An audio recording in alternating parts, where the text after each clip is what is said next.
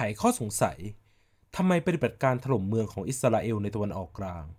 ถึงมีอิทธิพลต่อการเลือกตั้งประธานาธิบดีในสหรัฐมากมายเหลือเกิน ทั้งที่สองพื้นที่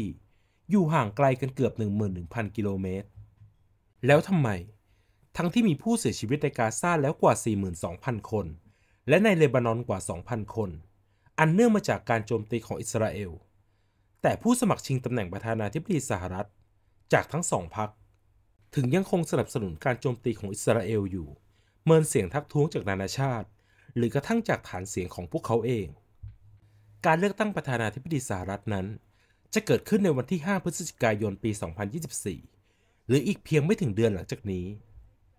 นี่จึงเป็นช่วงเวลาหัวเลี้ยวหัวต่อที่สำคัญมากสำหรับผู้สมัครทั้งสอง รองประธานาธิบดีกัมลาแฮร์ริสจากพรรคเดโมแครตและอดีตประธานาธิบดีโดนัลด์ทรัมป์จากพรรครีพับลิกัน ดังนั้น ทุกปัจจัยที่จะทำให้พวกเขาได้เปรียบหรือเสียเปรียบคู่แข่งแม้เพียงน้อยนิด จึงมีความสำคัญอย่างมาก และเรื่องการสู้รบของอิสราเอลนั้น ก็ไม่ใช่เรื่องที่คนอเมริกันรู้สึกว่าไกลตัวแต่อย่างใด ผลสำรวจเมื่อเดือนสิงหาคมพบว่า ชาวอเมริกันกว่า 60%สนับสนุนให้อิสราเอลถล่มกลุ่มฮามาสในกาซาจนกว่ากลุ่มฮามาสจะปล่อยตัวประกันทั้งหมด และ 50%สนับสนุนให้อิสราเอลถอนรากถอนโคนกลุ่มฮามาสให้สิ้นซาก ตัวเลขนี้ชัดเจนขึ้น เมื่อเป็นกลุ่มฐานเสียงพับริพับลิกัน ซึ่ง 70%สนับสนุนปฏิบัติการของอิสราเอล และอยากให้รัฐบาลสหรัฐ ยังคงส่งอาวุธช่วยเหลืออิสราเอลต่อไป นอกจากเรื่องความต้องการของประชาชนที่ผู้สมัครต้องรับฟังแล้ว เรื่องเงินในกระเป๋าก็สำคัญไม่แพ้กัน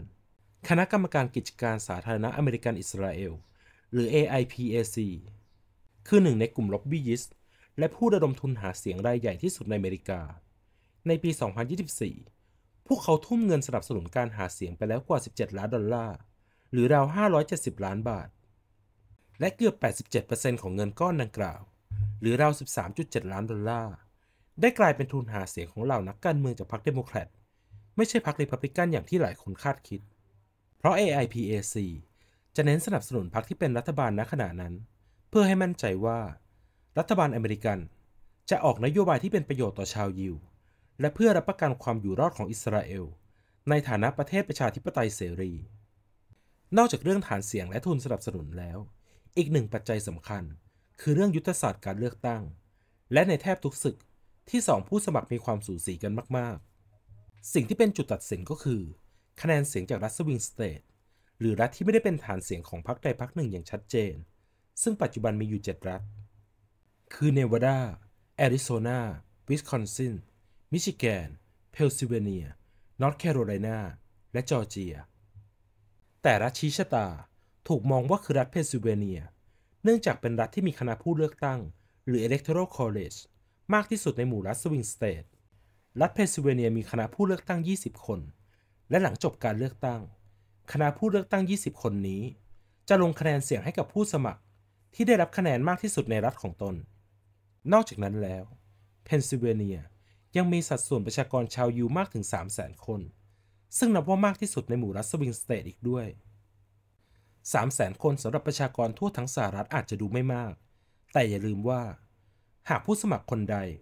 ได้คะแนนเสียงมากกว่าในรัฐรัฐนั้น แม้เพียงหลักทศนิยม ผู้สมัครคนดังกล่าว ก็จะเป็นฝ่ายชนะในรัฐรัฐนั้นทันที คณะผู้เลือกตั้งในสหรัฐจะมีทั้งหมด 538 คน ซึ่งเท่ากับจำนวนผู้แทนในทั้งสองสภา และหากผู้สมัครคนใด ได้คะแนนเสียงอย่างน้อย 270 เสียง เขาหรือเธอคนนั้น คือประธานาธิบดีสหรัฐคนต่อไป สุดท้ายนี้มาสำรวจจุดยืนต่อประเด็นอิสราเอลของผู้สมัครแต่ละคนกันบ้างสำหรับกัมาลาแฮร์ริสซึ่งมีคะแนนนำในหลายโพลอยู่ตอนนี้ เธอยอมรับว่าตัวเธอเอง ไม่ได้มีความแน่วแน่ในการสนับสนุนอิสราเอล มากเท่าประธานาธิบดีโจไบเดนแต่ก็ไม่เคยวิพากษ์วิจารณ์อิสราเอล หรือการสนับสนุนอิสราเอลของสหรัฐแต่อย่างใด การวางตัวเช่นนี้อาจจะมีข้อดีตรงที่ทำให้เธอ ไม่เสียคะแนนเสียงจากกลุ่มชาวยิวไป แต่ความนิยมของเธออาจจะลดลง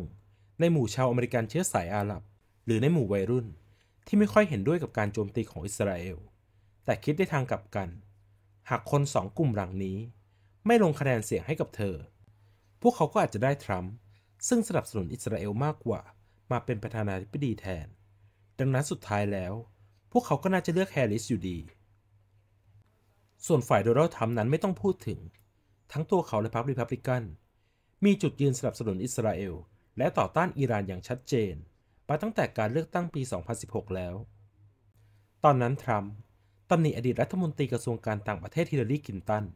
และอดีตประธานาธิบดีบารักโอบามา ที่ไปทำข้อตกลงอาวุธนิวเคลียร์กับอิหร่าน และยกเลิกการอายัดทรัพย์สินหลายพันล้านดอลลาร์ของอิหร่าน และสิ่งแรกที่เขาทำเมื่อชนะการเลือกตั้งเมื่อปี 2016 คือยกเลิกข้อตกลงดังกล่าว และทำให้อิหร่านเจ็บแค้นฝังใจจนถึงตอนนี้ ต่อจากนี้ที่น่าจับตาคือ การโจมตีหรือการตอบโต้ใด ๆ ของอิหร่านต่ออิสราเอล อาจจะทำให้ชาวอเมริกัน รู้สึกเห็นอกเห็นใจอิสราเอลมากขึ้น